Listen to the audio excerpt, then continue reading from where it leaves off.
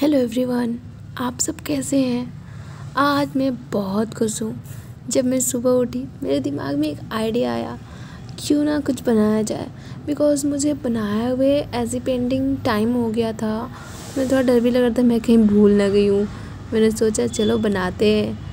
और कुछ आप लोगों के साथ भी शेयर करते हैं, क्योंकि आप लोगों को भी तो पता होना चाहिए कि मैं सिर्फ़ डांस ही नहीं कर सकती, मैं आर्ट भी बहुत अच्छा कर सकती हूँ। तो मैंने सोचा, क्यों ना आप सबको बताया जाए? फिर मैंने पेंटिंग करनी स्टार्ट कर दी। मैंने पहले से ही सोच रखा था कि बिल्कुल हॉट लुक दूँगी इसको। पता है यार, जब आप कुछ करो ना, मन लगा के और बीच में कोई बोल देना, पूरा मूड ख़राब हो जाता है। और मुझे स्पेशली मैं अगर कुछ कर रही हूँ ना तो मैं उसे पूरा करके उठती हूँ। चाहे रात हो जाए, दिन हो जाए, मुझे कोई फ़र्क नहीं पड़ता। मैं पूरा करके उठूँगी, चाहे कुछ भी हो। वैसे मेरे अंदर तो भी काफ़ी एक्साइटमेंट है कि कैसा बनकर दिखने वाला है लास्ट में। मैं बहुत एक्साइटमेंट हूँ, मैं देखना चाहती हूँ कि कैसा दिखने वाला है लास्ट में, सच बता रही हूँ। वैसे आप सब जो मेरी ये वीडियो देख ही रहे हैं तो आप सब भी एक्साइटेड होंगे कि ये कैसा दिखने वाला है लास्ट में।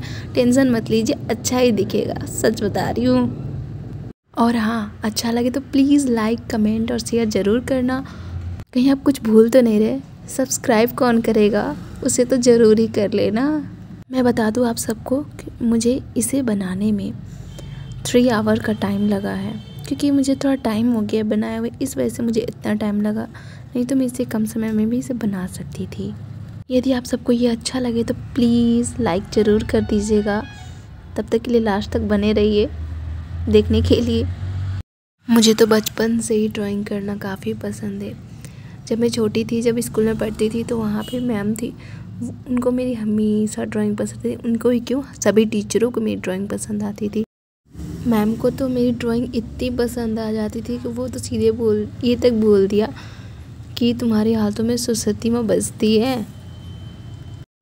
सच बताऊँ, तब तो मेरी खुशी का कोई ठिकाना ही नहीं था। मैं इतनी खुश हो गई, इतनी खुश हो गई मैं क्या ही बताऊँ। मैं बता दूँ, मैंने ऐसी पेंटिंग्स बनाने के लिए कहीं से क्लासेस नहीं लिए बट मुझे आती है। सीधे बताऊँ तो यह मेरे लिए गॉड गिफ्टेड है।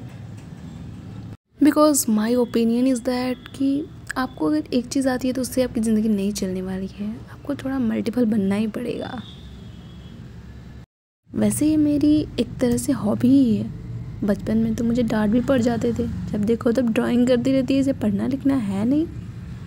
तो अब ठीक है, आप ज़रूर मुझे बताइएगा कि कैसा लगा मेरा ड्राइंग आपको। प्लीज़ कमेंट करके ज़रूर बताइएगा। चलिए ठीक है तो आपसे बातें करती करती मेरी पेंटिंग भी अब कंप्लीट हो चुकी है। दिस इज़ माई साइन तो फिर मिलते हैं अगले वीडियो में, तब तक के लिए बाय बाय टेक केयर